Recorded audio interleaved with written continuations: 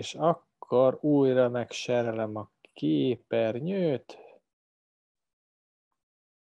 és nehogy valaki azt higgye, hogy vannak szlájdok, ezek természetesen, ezek újrahasznosított szlájdok. Itt elővettem egy régebbi Docker előadásomnak a szlájdjait, hogy egyáltalán valami irányvonalat itt kapjunk.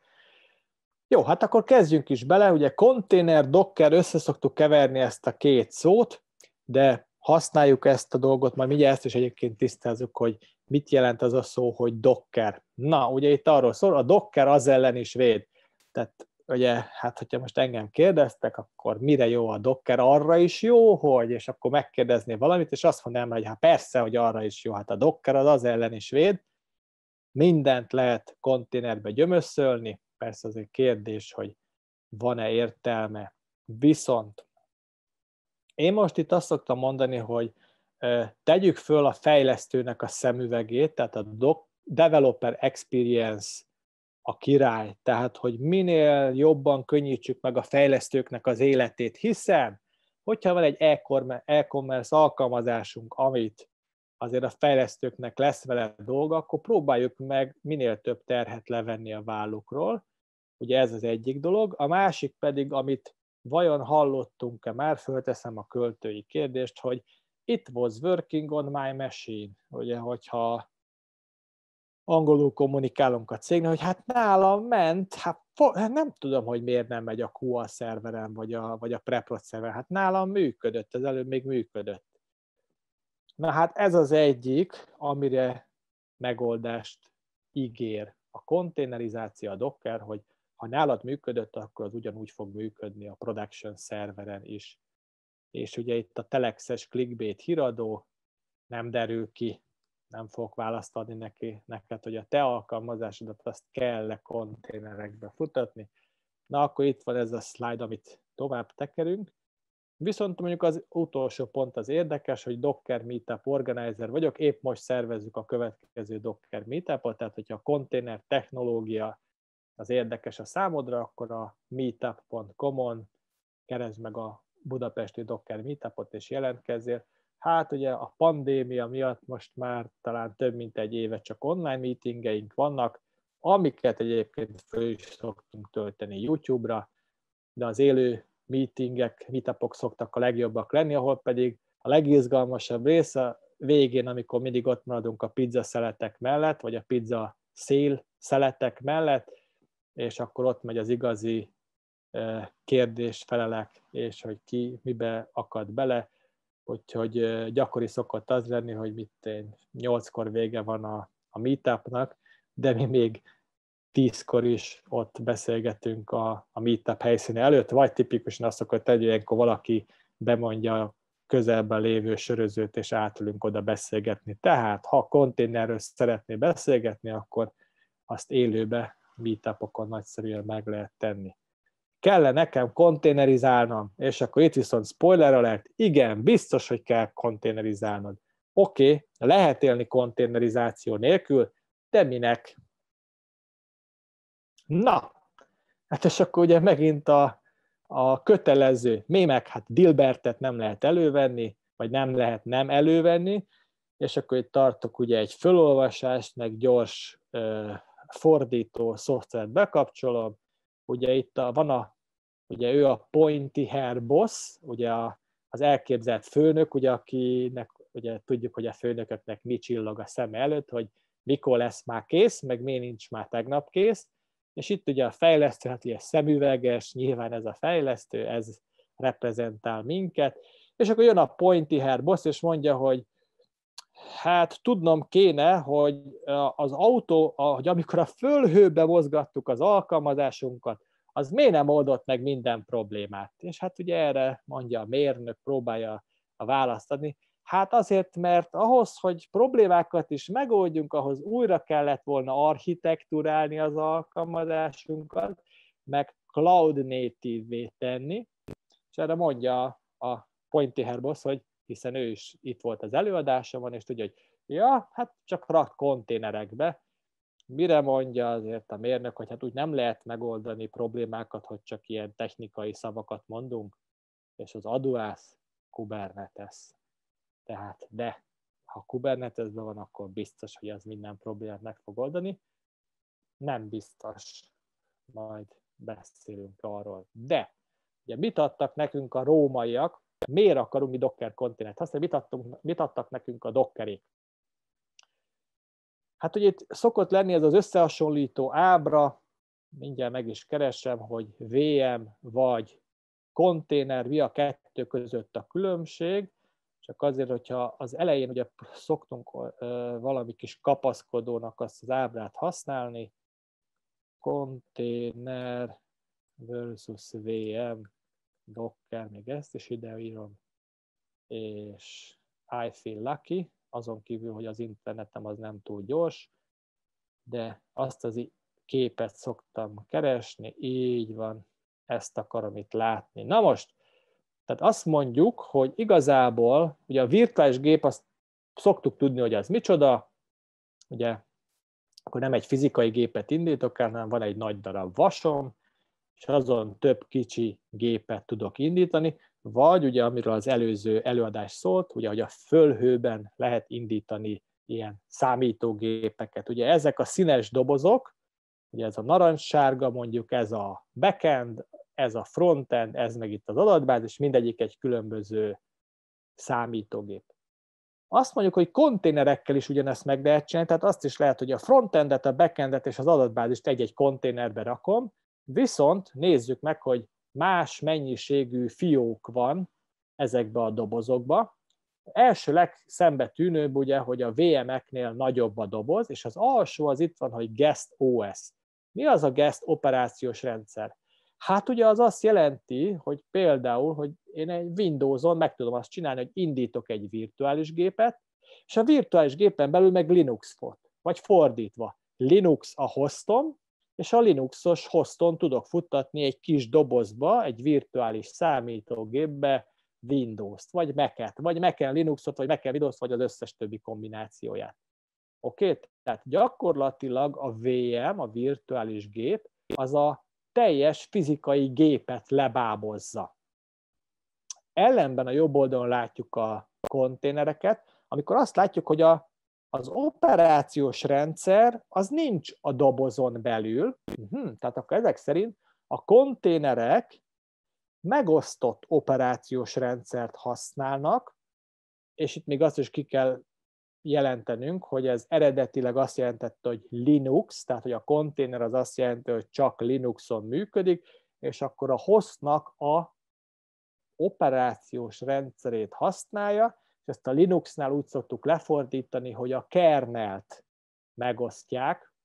a konténerek a hozta. Ebben most technikailag nem fogunk belemenni, hogy mi az a kernel. Az a lényeg, hogy itt a dobozokon belül akár különböző Linuxokat is futtathatok, tehát ebbe lehet egy Ubuntu, ebbe lehet egy Debian, ebbe lehet egy SUSE, Fedora, Red Hat, akármi. Azok a dobozok különböző operációs rendszereket tartalmazhatnak, egész addig, amíg azok mind Linuxok, viszont nem a dobozon belül lesz a teljes operációs rendszer, hanem azt a hosttal megosztják. Jó, tehát az, hogy a dobozon belül van a guest operációs rendszer, az megengedi azt nekem, hogy operációs rendszer az eltérő legyen a dobozon belül, mint a dobozon kívül. A konténereknél ilyen nincs. Na most, ez implikálja maga után azt is, hogyha be akarok kapcsolni egy VM-et, vagy egy konténert, akkor annak más lesz az erőforrás igénye, és más lesz az idő igénye, hogy mennyi idő alatt indul el. Most, ha interaktív lenne a közönség, akkor megkérdezném, hogy nektek mi a tapasztalatotok, hogy ha egy VM-et indítotok, akkor az mennyi ideig tart? És akkor mondanátok, hogy hát az percek, hosszú percek, valaki hátulról. Nem is igaz, mert nekem már fél perc alatt is elindul egy VM, és valaki nagyon bátor azt mondaná, hogy nekem 10 másodperc alatt elindul a VM-en, de annál gyorsabbat senki nem merne mondani, és aztán a többiek meg megszavaznák, hogy átlagosan azért mégis inkább a percek kategóriáját mondanánk. Szemben a konténerekkel, amikre meg azt mondjuk, hogy ezek 100 millisekundumon belül elindulnak hó, hát mi itt a black magic, mi itt a, a varázslat? Nincs varázslat, hát ugye az a varázslat, hogy amikor egy VM-et indítok, hát akkor ugye azt történik, hogy tényleg az a guest operációs rendszer az be kell töltődjön, tehát ezt úgy kell elképzelni, hogy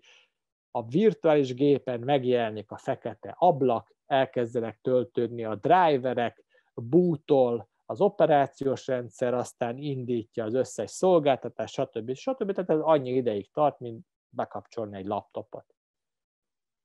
Szemben a konténerrel, ahol egy csettintés ideig tart csinálni egy konténert, mert,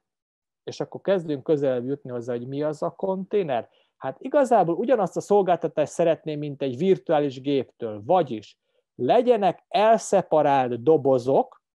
mit jelent, hogy el van szeparálva. Ha ebbe a VM-be telepítek valamit, az a másikban nem látszik. Jó? Tehát fájrendszer szintjén el van különítve. Konténereknél ugyanúgy. Processzek szintjén. Ha ebben a VM-be futtatom a frontendemet, akkor az a processz az nem fut a másik VM-en belül. A konténerekre ez ugyanúgy igaz. Ha ennek a VM-nek saját networkje van, konténerekre ez ugyanúgy igaz. Jó? Tehát azt mondja, hogy az összes resource-ot, memória, CPU, network, fájrendszer, minden, abból legyen egy elszeparált környezetem, legyen egy saját dobozom, a többi doboztól elkülönítve. Tehát ugyanezt a célt szeretnénk elérni, viszont az óriási különbség, egyet már láttunk, az indulási idő. Nézzük, mi a következő, hogyha valahol megtalálom azt a slide-ot, itt volt, ugye ez volt, következő az image, megint akkor nem tudom, itt van, igen. Ugye hát látjuk, hogy hát ez magasabb ez az oszlop, mint ez, tehát hogyha szeretnénk sütni egy image-et, amiben benne van a operációs rendszer, benne vannak a dependenciái, meg az alkalmazásom, itt most megint a nem létező élő közönséget megkérdezni, mekkora szokott lenni nálatok átlagosan egy VM, és akkor a bekiabálás az a gigabyte méretbe szólna, hiszen nyilván az operációs rendszernek is benne kell lennie, szemben a konténer image amik pedig hát a 100 megabyte nagyságrendben vannak, tehát jóval kisebbek. Nyilván megint nincs varázslat, hanem hát nem kell, hogy a guest operációs rendszer ott legyen, ott legyen a összes többi dolog, hanem tényleg csak az én alkalmazásomnak a binárisa, meg esetleg a dependenciái legyenek benne. Tehát egy sokkal kisebb image lesz, és ugye itt a kisebb az azt jelenti, hogy jobb. Na, ezt magyarázom a feleségemnek is mindig. Megint, hogyha megkeresem. Igen, és az Elastic Resource Usage, ez is egy nagyon érdekes dolog, ez inkább üzemeltetési, de ha visszajövünk ide erre az ábrára, és elképzeljük, hogy ez a host operációs rendszer, mondjuk van neki 8 GB memóriája. Frontendnek adok 2 GB-ot hasraütésszerűen, backendnek adok 2 GB-ot, adatbázisnak adok 2 GB-ot. Oké. Okay. Mi történik, hogyha egy hét után rájövök, hogy ajjajjaj, a frontend az kezd kifutni a memóriából, annak kéne többet adni, hát a backendnek meg nem kell annyi. Ahogy csináljam? Hát ugye régen az volt a válasz, hogy nem, a VM az, hogyha amikor elindítottam, odaadtam neki valamennyi memóriát, akkor az kész vége, be van betonozva, nem lehet változtatni rajta. Aztán a virtualizációs technikák azok fejlődtek, és már lehetett azt mondani, hogy többet lehet neki adni, tehát lehet menet közben növelni, már azt se tudja mindegyik, de csökkenteni azt nem lehet. Ha tényleg szeretnéd újra konfigurálni többet, kevesebbet, akkor az egyetlen dolog, leállítod az összes VM-et, újra konfigurálod őket, újraindítod őket. Telnek a percek. Ezzel szemben a konténereknél ezek nem vasbeton keretek, hanem ezek rugalmas, elasztikus keretek, vagyis gyakorlatilag, hogyha azt mondjuk, hogy a host gépnek van 8 GB memóriája, akkor azt mondom, hogy induljon el, azt mindegyik egyen annyit, amennyi jól esik neki.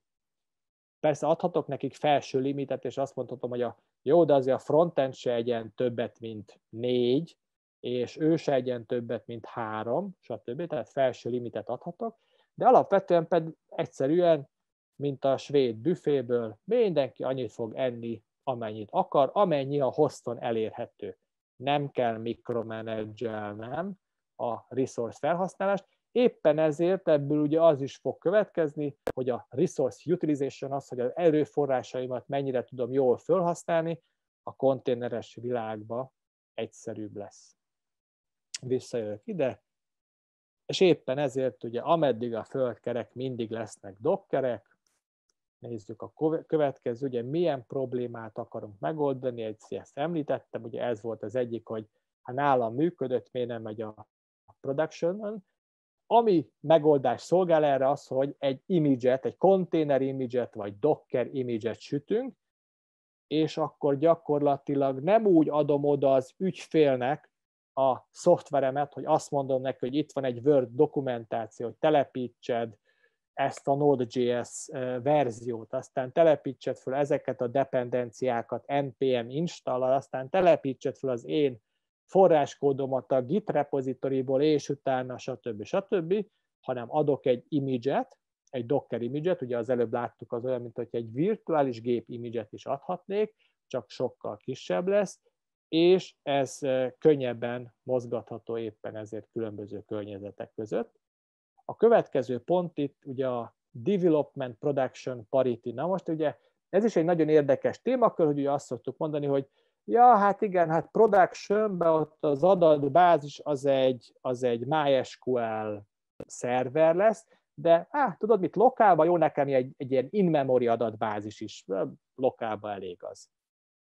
Igen, nem csak ott szokott lenni, hogy ja, hát igen, a productionben pedig másik adatbázis van, nem pont ugyanaz, mint a fejlesztői környezetben. Ja, tényleg, ott van, is, van egy cache még előtte, aha, az lokálban nincsen a fejlesztői környezetben. Ja, a production rendszerben van még egy proxy, és az lokálban nincsen. Ez azért szokott lenni, mert ugye szeretnénk a developer experience-t, ugye a fejlesztőnek a, a terheltségét lecsökkenteni, és az az, hogy a lokál fejlesztéshez nem kell proxy, lokál fejlesztéshez nem kell load balancer, stb. nem kell cache, viszont akkor biztos, hogy bele fogunk futni abba a problémába, hogy visszaugrunk az elsőre, hogy hát nálam működött, mi nem megy a szerveren? Hát azért, mert máshogy volt bekonfigurálva. Tehát próbáljuk elérni azt, hogy a fejlesztői környezet is komponens számra ugyanannyi legyen, mint a production. Viszont ne az legyen egy fejlesztői környezetnek a felállítása, hogy megint elkezdem a Word docsit lapozni, és telepítenem kell Nginx-et, hogy legyen egy proxim, telepítenem kell valami elastic hogy legyen egy cache az elején, stb. stb., hanem megkapom a készre lesütött Docker image és csak el kell indítanom a konténereket a fejlesztői környezetbe. Persze, ugye a komplexitásra, hogy növekszik, például a komponensek számával, annak bizony van egy komoly ára, és majd ugye mindjárt eljutunk oda, hogyha sok konténerem van, akkor azokat a konténereket valahogy ugye terelgetni is kell, valahogy orkestrálni kell azokat a konténereket, és az majd egy következő problémakör lesz. De előtte ugye még próbálom megismerni azt, hogy miért használnék egy számítógépen konténereket, ami egyébként a Docker-t egyenlővé tehetjük egy kis maszatolással azzal, hogy a Docker az arra jó, hogy egy számítógépen futtassa konténereket. Arra tökéletes megoldás, annál nem kell bonyolultabb. Nézzük tovább. Hát igen, amikor épp ezt a e, slideshow-t csináltam, ugye akkor volt ez friss dolog, ugye, amikor a konténerhajó beakadt keresztbe a Suezi csatornán, hogy hát viszont azt is meg kell említeni, hogy azért, amikor sok konténer van, akkor abból lehetnek problémák, következő szlájdokon fogunk róla beszélni, és hát ugye ugyanúgy, ahogy a XKCD-nek a, a karikatúrája szerint, ugye régen ugye mindig arról volt szó, hogy miért nem dolgoztok, és ugye az volt a válasz, hát azért, mert fordítunk, manapság ugye az szokott lenni, hogy hát miért nem dolgoztok, hát build el a Docker image. Tehát ott ugyanúgy a fejlesztési folyamatnak vannak, lehetnek lassú részei, és hát ez ugye itt pontosan arról is szólt, hogy ugye amikor fordítok, akkor ugye az van, hogyha valamilyen dolog az két percig tart, akkor ugye nekem közben, hogyha elkezdek mással foglalkozni, például elmegyek, főzök egy kávét, vagy kiugrok egy cigire, vagy beszélgetek a szomszédommal, vagy megpörgettem a, telefon, a telefonon a social médiát, akkor az fog történni, hogy az biztos nem két percig fog tartani, amíg a Docker build, vagy a, a compile fordít, vagy a, igen, a, a, a fordítás fut, hanem több ideig, és utána, mire visszaérek az asztalomhoz, megint elkezdem vakarni a fejemet, hogy hol is tartottam, megint rengeteg idő el fog menni. Tehát, hogyha ezeket a context switcheket meg tudjuk spórolni, ugye megint a, a developer experience, akkor azzal növelhetjük a hatékonyságot. Jó, itt volt mindegy egy ilyen automatizálásra mennyi időt lehet elkészíteni. Itt volt egy újabb mém, amit ugye itt kiszámolták, hogyha egy task mondjuk 30 másodpercig tart, és 50-szer csinálod meg egy nap, akkor ennek az automatizálására négy hetet is eltölthetsz, viszont például, hogyha csak azt évente egyszer kell megcsinálni azt a 30 másodperces dolgot, akkor ne kezdjél rá scriptet írni, ne kezdjél rá egy konténert építeni, amivel azt leautomatizálhatod. Na, itt visszatértünk arra a szóra, hogy mit jelent az a Docker. A Docker az jelentheti magát a céget is, ugye az a Docker incorporation ami egyébként ugye az megint egy hosszú sztori, annak egy részét pont nemrég megvette a Mirantis,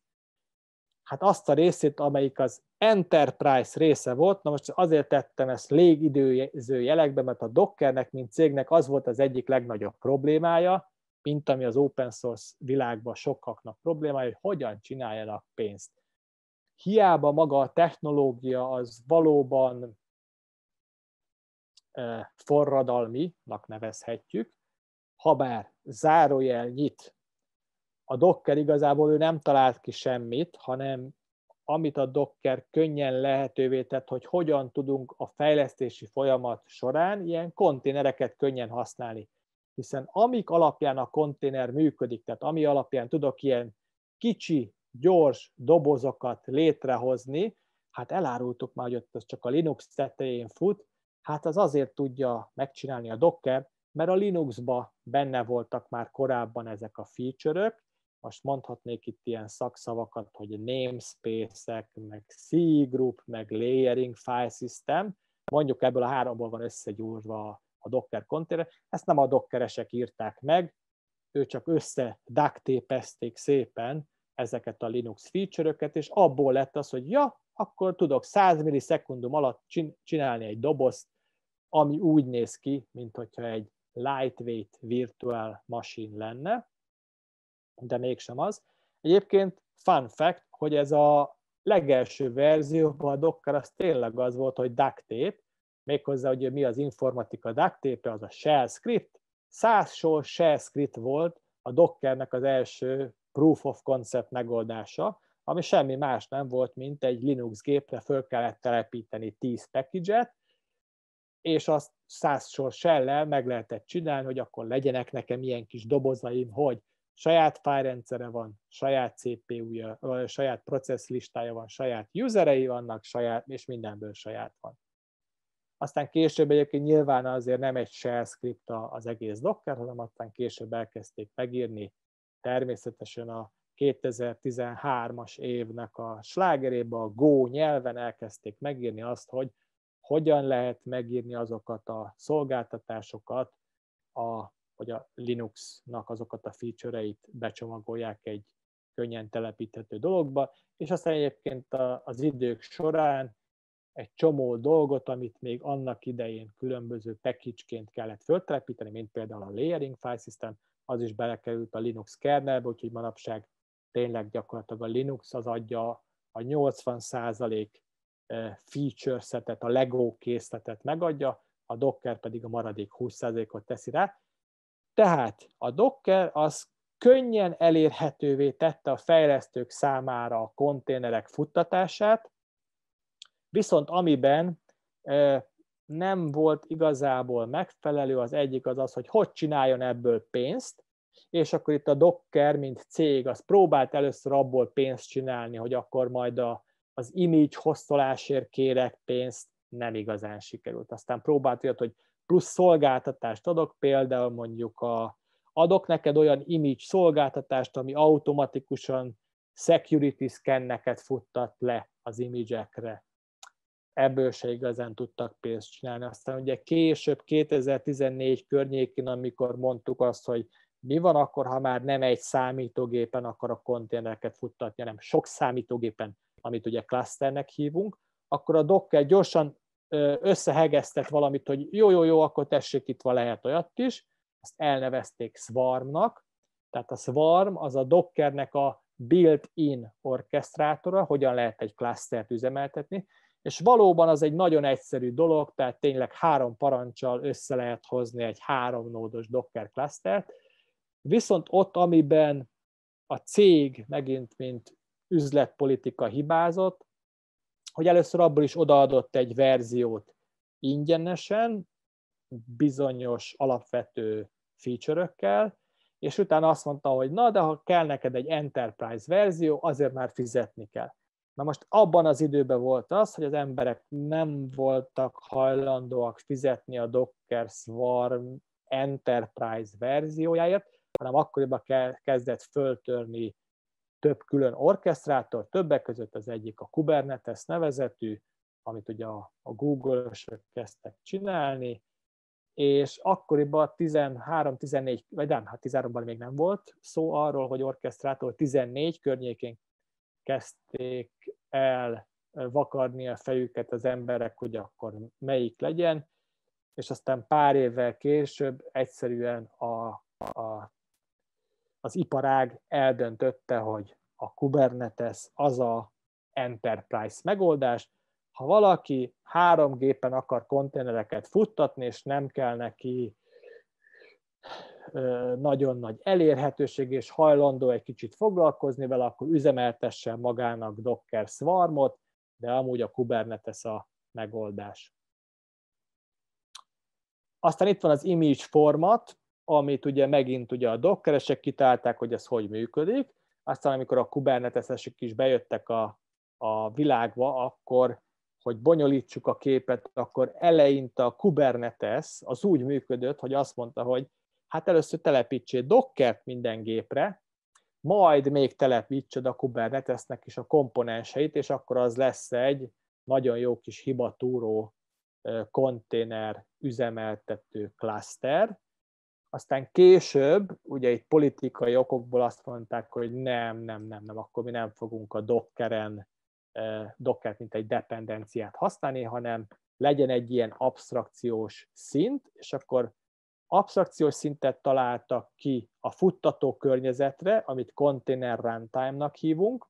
és akkor már egy idő után nem csak a Docker lehetett az, aki a konténereket futtatja, hanem alternatív implementáció is, majd pedig magára az image formatra is. Az volt, hogy jó, hát akkor ne Docker image lehessen használni, hanem Open Container Initiative által az megint az egy ilyen olyan organizáció lett, ami nem tartozik egy céghez, tehát itt a Docker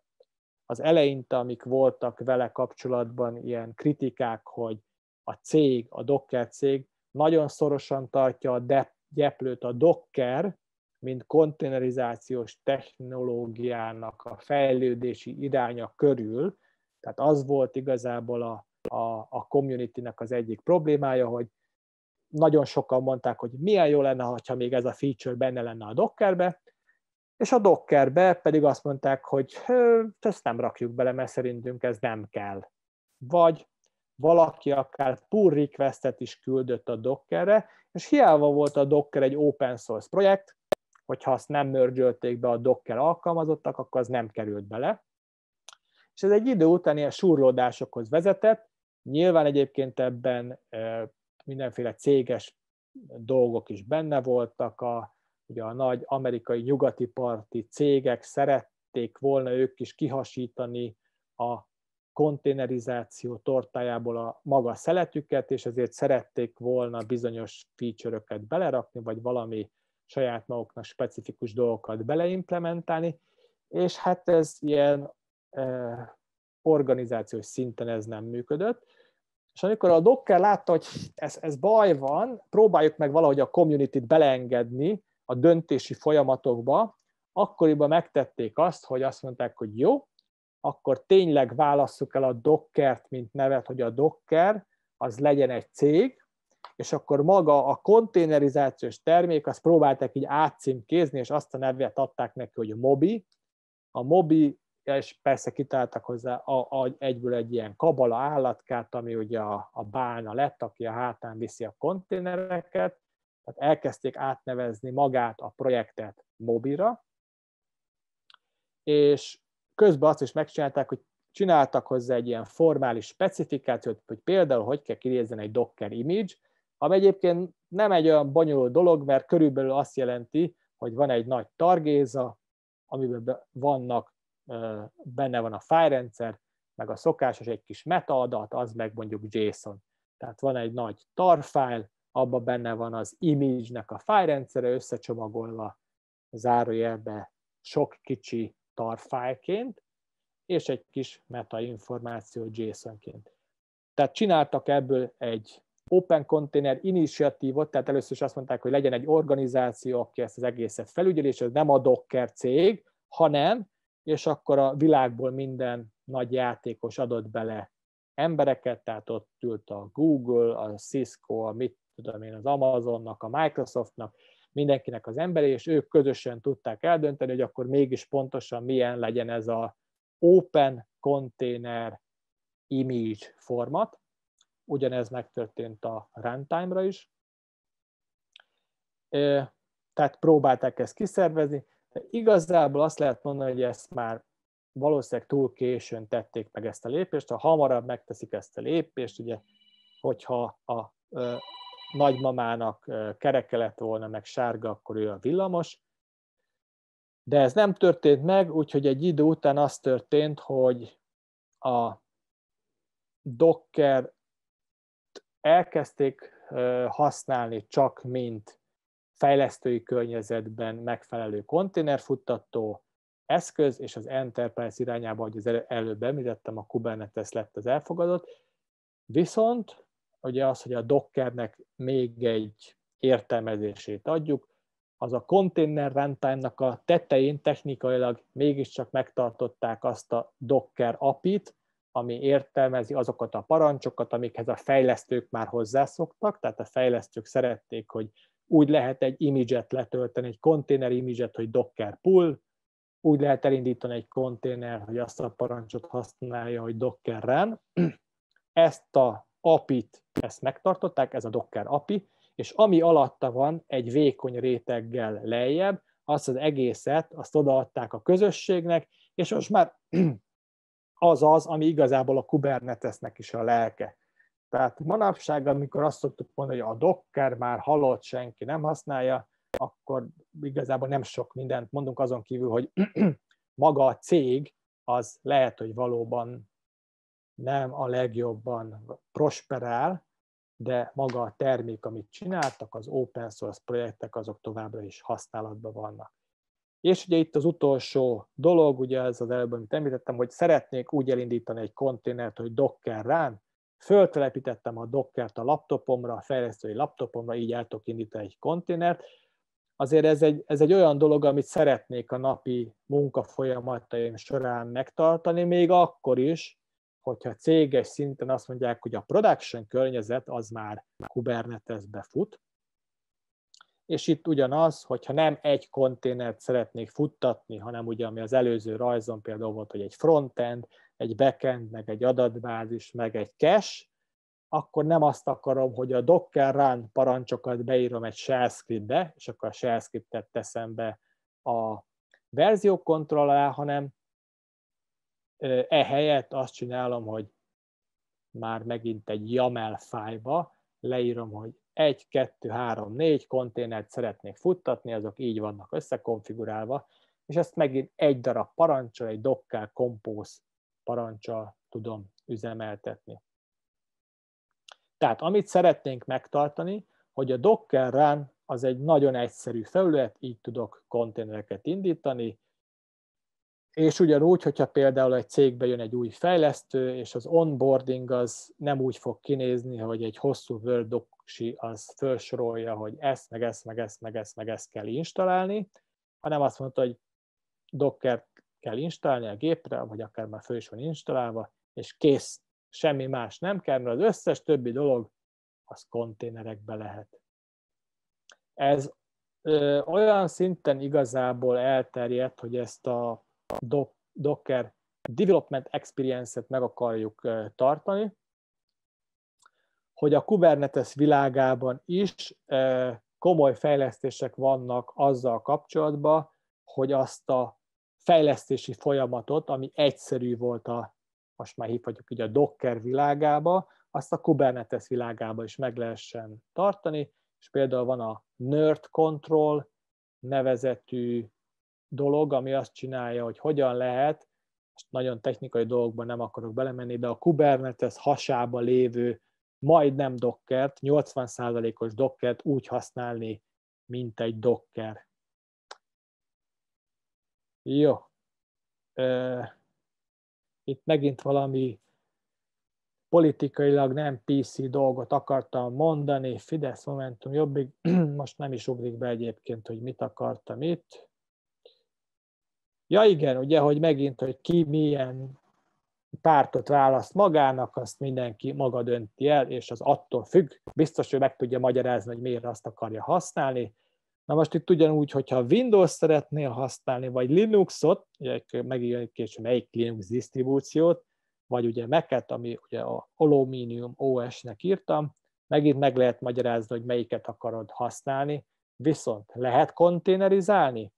és most már rávághatjuk, hogy igen. Linux, ugye azt mondtuk, hogy Linux kell a konténerek futtatásához, de most már Windows-on is lehet futtatni konténereket, meg Mac-en is lehet futtatni konténereket. Ugye leinte egy, egy csalás volt, hogy ja, de hát az nem Linux, akkor hogy lehet? És akkor azt mondták, ja, semmi baj, itt van egy kis doboz a Windows-on belül, ami Linux, és az már tud Dockert futtatni. A Mac-en belül itt van egy kis doboz, ami már tud konténereket futtatni. Hát egyébként az a doboz az semmi más, nem mint egy virtuális gép, egy Linux virtuális gép. Viszont pár éve már azt is megcsinálta a Microsoft, hogy igazából a Windows processzeket is lehet Windows konténerekbe futtatni, vagyis ha valakinek Windowsos a hostja, akkor már tud ilyen kis dobozokba Windows szoftvert futtatni. Jó, és akkor a következő kérdés ugye az az, hogy na most akkor, ha sok konténerre van szükségem, akkor azt hogy futtassam? Futtassam ugye Docker Swarm-mal, aminek az az előnye, hogy hát már az built-in, tehát hogyha egyszer Docker telepítettem a fejlesztői környezetre, akkor nem kell más telepíteni, vagy ja, hogyha a cloudban vagyok, akkor megint a következő, hogy ja, hogyha az Amazonnál vagy Google-nél szeretnék konténereket futtatni, akkor azt hogy csináljam meg? És történetileg ez úgy történt, hogy az Amazon, amikor először látta, hogy hm, hát ez a, egyre többen futtatnak konténereket a felhőben is, akkor kitalálta, hogy hát tudjátok mit, majd én segítek nektek, és csinálok egy olyan környezetet, ahol te tudsz futtatni konténereket, de ugye utána a konténerekbe futtatod a frontendet, backendet, de utána majd úgy is akarsz neki, hogy legyen előtte egy Amazon Load Balancer, úgy is akarsz használni storage-ot, S3-at, stb. Tehát össze akarod keverni a konténereket, meg az infrastruktúrát, és erre kitalált egy saját megoldást, ez az Elastic Container Service, ECS. Hát ez most megint micsoda, egy Amazon specifikus szolgáltatás, amit ez abszolút vendor lock-in, Viszont, ha már úgyis eleve Amazonnál vagy, Amazonnál üzemelteted a DNS szervedet, a load balancereket, a VPC-ket, a mindent, és szeretnék konténerezni, akkor megint megteheted azt, hogy nem kezded el magad duct megoldani a problémákat, és EC2 instancokat indítani, telepíteni rájuk Dockert, a Dockerbe telepíteni, stb., hanem a Docker Compose egyszerűségével hasonlóan egy YAML fájlba megmondani, hogy ilyen, meg ilyen, meg ilyen konténerekre vannak szükségeim, ami Amazon specifikus, azt megmondod, hogy ilyen, meg ilyen Amazon specifikus szolgáltatásokra, és utána egy parancsal létrehozhatod az egészet. Tehát ez már kétféleképpen tudunk sok konténert futtatni. Saját magunknál szvarmal, a fölhőbe szvarmal, a saját adatcenterembe szvarmal, vagy cloud provider specifikusan az Amazonnál például az Elastic Container Service, vagy az egészre azt mondjuk, hogy de hogyha tényleg nagy üzemben akarok konténereket futtatni, akkor azt is megtehetem, hogy Kubernetes fogok használni, ami most megint ugye az egymondatos definícióval arra való, hogy hogyan lehet enterprise üzemmódba konténereket futtatni, és aztán itt majd jön a következő, hogy melyik Kubernetes disztribúciót használjam. Most jön először is a kérdés, hogy mi az egyáltalán, hogy Kubernetes disztribúció. Hát itt egyébként visszakérdeznék, hogy tényleg hogyan ö, fogalmazzuk meg, hogy mi az, hogy Linux disztribúció. Ugye a Linux disztribúcióknál, hát hogyha ott, ott mind szokott tenni, hát figyelj, hát a kernel az ugyanaz,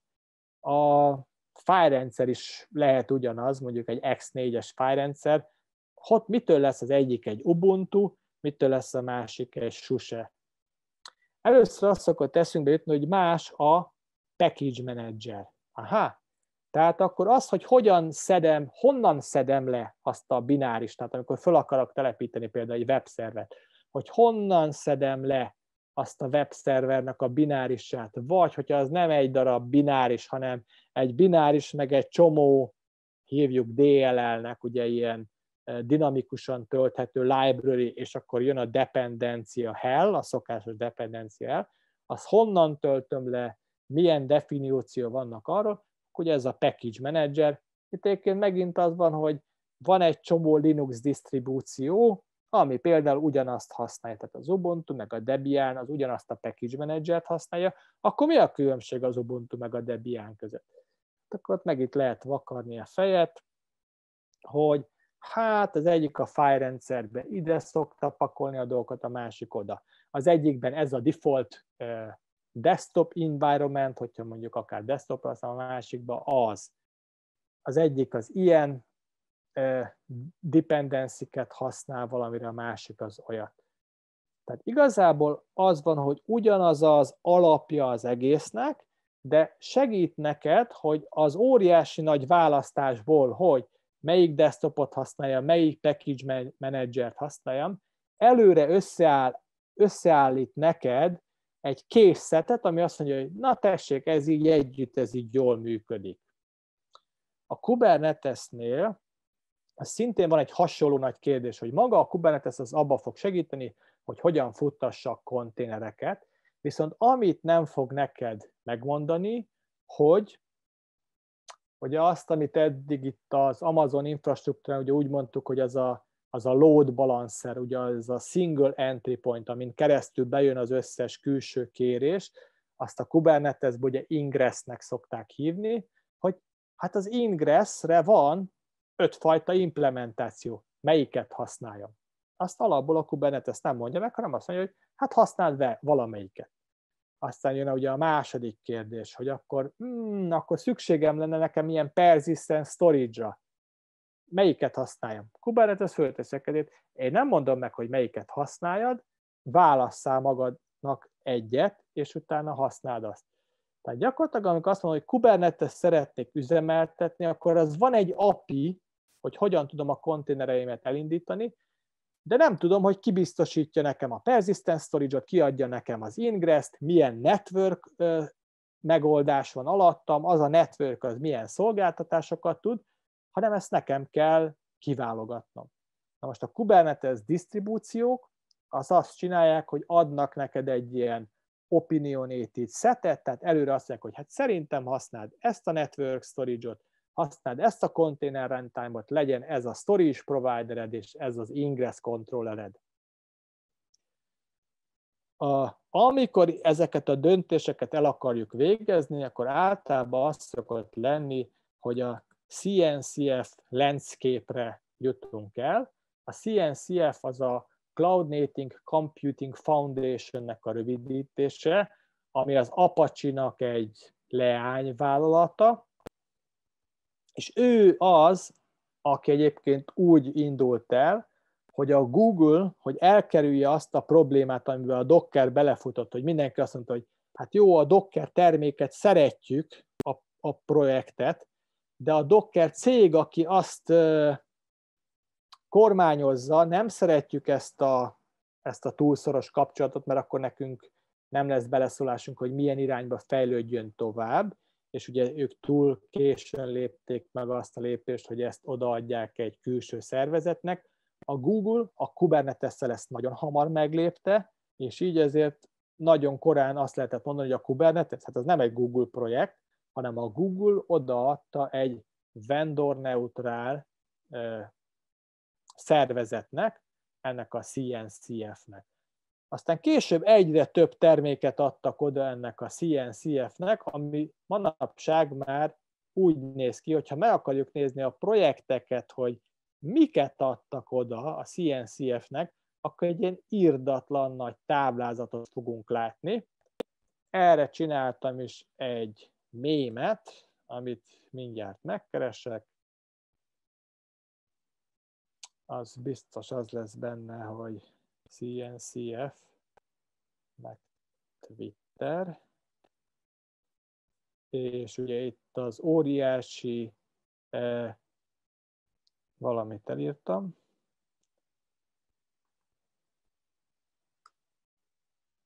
akkor Twitter és Kubernetes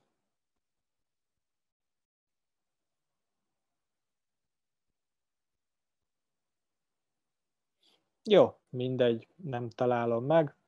Az a lényeg, hogy akkor elmesélem a mémet, ugye mém magyarázó szekció következik, hogy ez elé az óriási CNCF landscape elé beraktam a Travoltát, amikor a Pulp fiction így jobbra-balra forog az öltönyébe, és vonogatja a vállát, hogy most melyiket válasszam. Tehát az szokott lenni egy óriási nagy probléma, hogy például szeretnék adatbázist használni, méghozzá egy pólomról olvassátok egy Cloud Native adatbázist, akkor elmegyek a CNCF landscape-re, megnyitom az adatbázis oldalt, és akkor meg rémülök, hogy úristen, ennyiből kell választanom, és hogy melyiket válasszam. Ugye itt volt az, amiről mondtam, hogy például a, már a Kubernetesnél is nem fogja ő megmondani, hogy melyik e, proxit használjam, ingressre hivatkoztam erre, hanem itt van, tessék, lehet választani, azt mondja, ez egy táblázat, 2, 4, hát körülbelül 20 körül, 20 közül lehet választani. A Kubernetes disztribúciók, azok abban segítenek neked, hogy adnak egy opinionated setet, hogy ezt használd erre, ezt használd arra. Természetesen megint a cloud providerek, azok nem akartak kimaradni a buliból, és azt mondták, hogy lehet, ne akarjátok Kubernetes üzemeltetni magadnak, hanem azt neked mi egy kattintásos szolgáltatásként biztosítjuk. Érdekes egyébként, hogy például itt volt az Amazon, aki itt egy kicsit lemaradt, és egy lépés hátrányba került, és hát nyilván azért a Google volt az, aki az ő saját felhőszolgáltatásában először adott Kubernetes a service, tehát egy kattintásra kérek egy Kubernetes clustert, és ez még manapság is meglátszik az egyébként az, hogy a Kubernetes verziókban mennyire követik a legújabb release-t, ebbe az Amazon még mindig egy kicsit általában le van maradva, tehát például itt a, a Google van előrébb, ő egy e, robosztusabb megoldás, nem, talán inkább nem is ezt használom, hanem ő nekik, ők régebb óta kínálják a Kubernetes megoldásukat, mint az Amazon.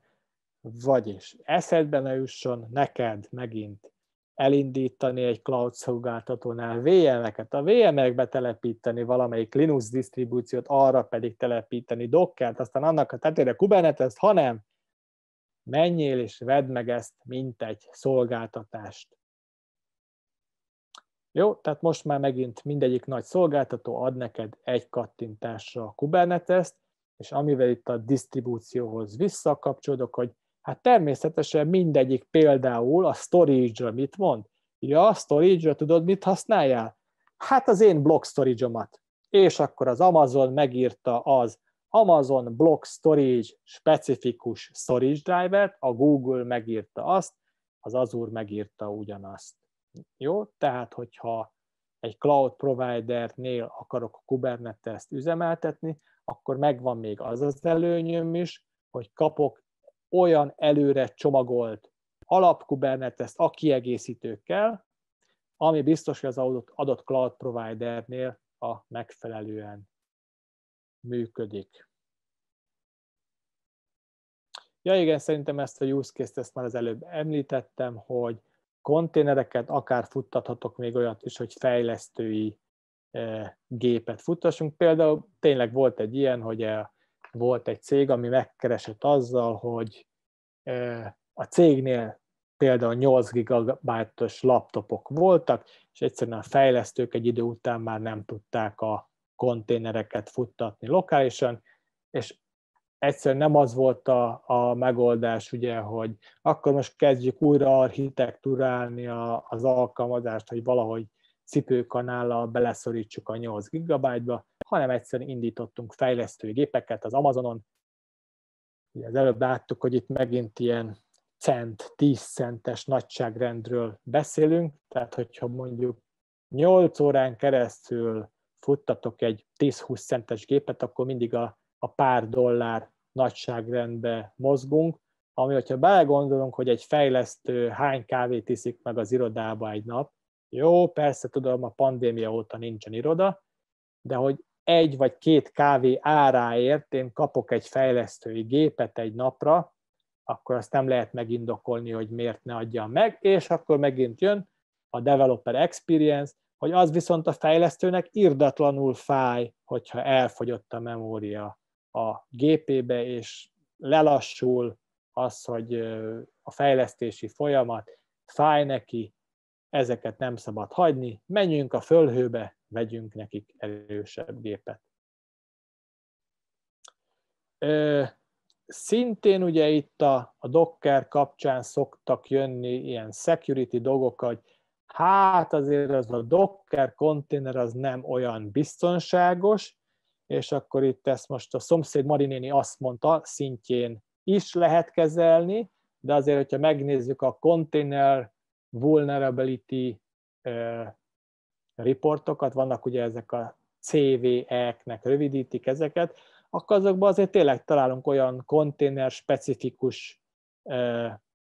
security lukakat, hogy hogyan lehet egy konténerből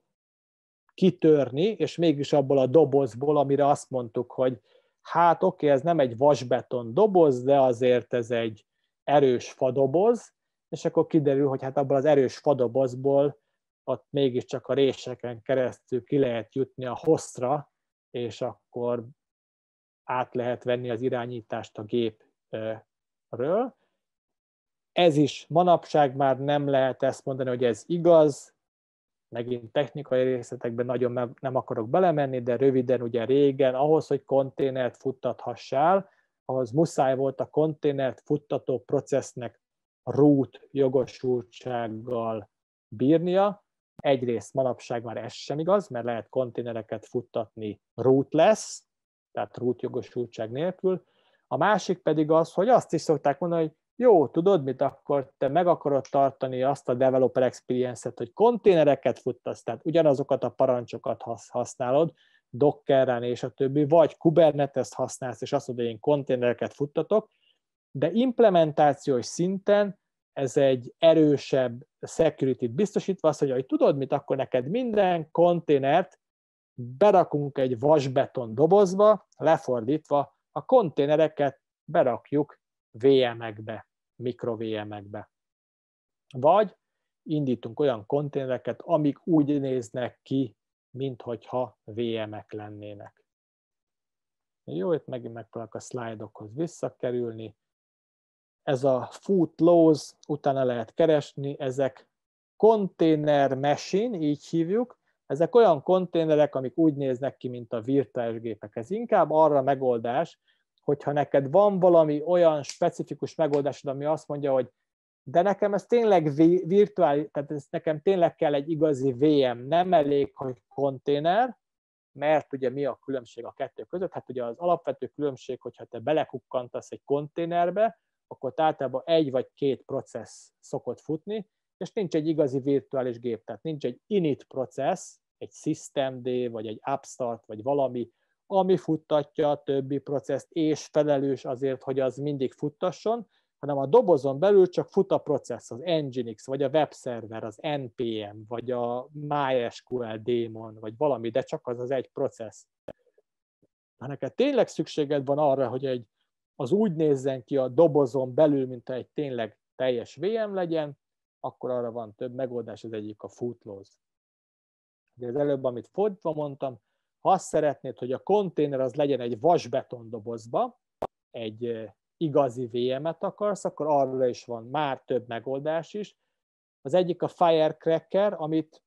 az Amazon open source-át tett, képzeljétek el, nem fog meglepődni, hogy ez egy olyan implementáció, ami olyasmi, mint egy konténer, és az Amazon ezt már tök régóta használja, például a Lambda-ra, például a Fargate-re,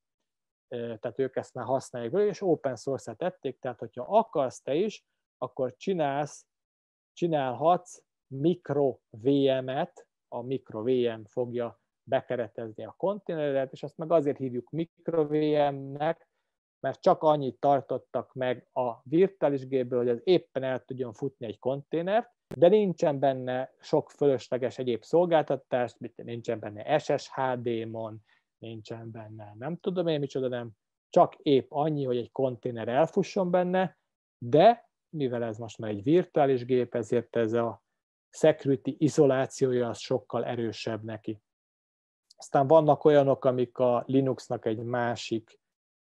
feature-ét használják ki, az a KVM-et, vagy a QEMU-t, és ebből is a Google is csinált open source megoldást, Amazon is. Ez itt most, ez a Firecrackernek volt a az architektúrája hm, szerintem nem érdemes annyira belemenni. És olyat is lehet, hogy igazából szeretném megint a developer experience-t megtartani, az azt, hogy legyenek nekem ilyen konténereim, legyenek ilyen Docker image mint egy packaging megoldás, de mégis akarok konténereket futtatni, mert ugye akkor a szokásos azt szokott lenni, na jó, de hogyha fejlesztőgépen konténert futtatok, akkor hogy lesz az, hogy a konténeren belül látszódjon az a direktori, amit én a verzió kontrollból kiszedtem, tehát például a, a Python, vagy Python fájljaim, vagy a PHP fájljaim, vagy a JavaScript fájljaim látszódjanak a fejlesztői gépen is, mert ott van megnyitva a fejlesztői környezetben, de a konténeren belül is. A legtöbb mostani megoldás, mint például a Dockernél, ugye itt ilyenkor az szokott lenni, hogy van valami file sharing megoldás a kettő között, vagy hogyha valaki Linuxon használja, akkor ez egy sima mount parancsnak megfelelő, tehát ott nincs ez a probléma. De van erre is egy érdekes megoldás, ez csak egy ilyen különlegesség, van ez a Nix OS, ez a ugye Nix Ukribugri, ezt csak én írtam, mert így már magyarul megint van valami értelme, mert meg tudom jegyezni, reprodukálható és deklaratív, tehát megoldja azt a problémát, hogy hogyan lehet OS specifikusan, tehát ez megint működik Linuxra és Macre, sajnos a Windowsban nem vagyok biztos, viszont ez azt csinálja, hogy nem fog igazi konténereket indítani, hanem csak a fájrendszerben elhelyezi a megfelelő alkalmazás darabokat, és amikor nyit neked egy dobozt, az nem igazából egy konténer, tehát ott nem az lesz, hogy egy saját processzek vannak, saját userek vannak, hanem ugyanaz, mint hogyha a hoston futték, de a file rendszer szinten viszont tényleg saját legyen. Tehát ugye itt ennek, a, ennek az előadásnak ugye az volt a, a konklúziója, ugye szelektív csomagolás, mit értek ez alatt, hogy tessék Docker image-be pakolni az alkalmazásodat, ezzel azt el fogod érni, hogyha akarod, akkor a fejlesztő a fejlesztői gépén Dockerrel ugyanezt tudja használni, de ha a production Kubernetes, akkor ott ugyanezt az. Tehát a Dockert használjuk, mint egy image formatot, hogyan adom oda a szoftvert az ügyfélnek, hogyan viszem át a, fut, a production környezetbe, használjuk ezt, hogy cloudba futtassad, vagy on-prembe, hát ugye ez megint ugye a szokásos válasz attól függ.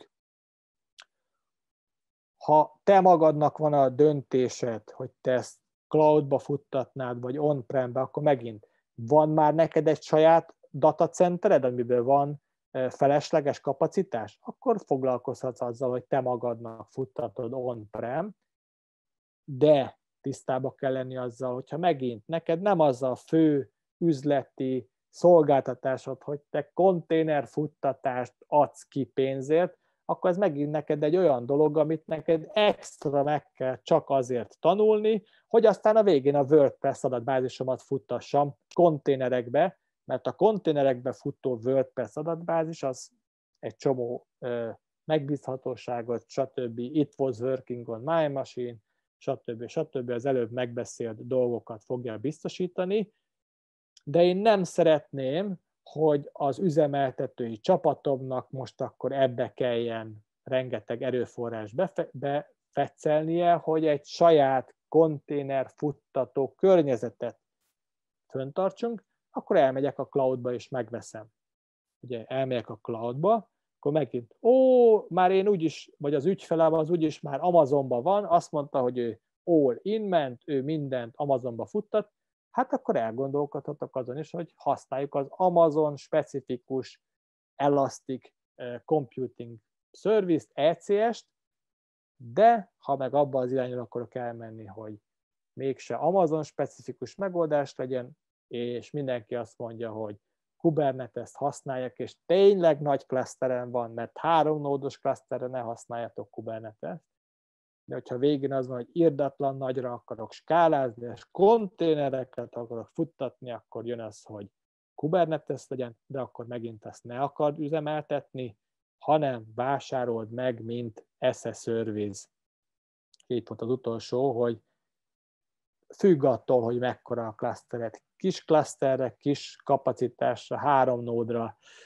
Én azt mondanám, hogy ha meg akarod tanulni csak azért a Kubernetes, hogy utána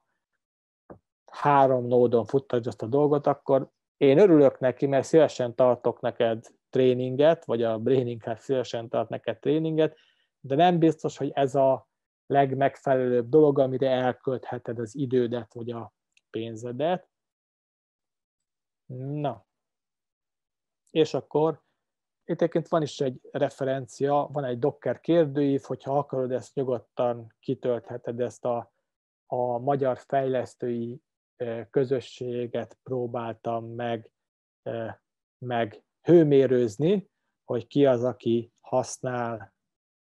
konténereket productionbe, fejlesztői környezetbe, és ezt egyébként szerintem a következő Docker Meetupon majd meg is fogjuk ezt beszélni.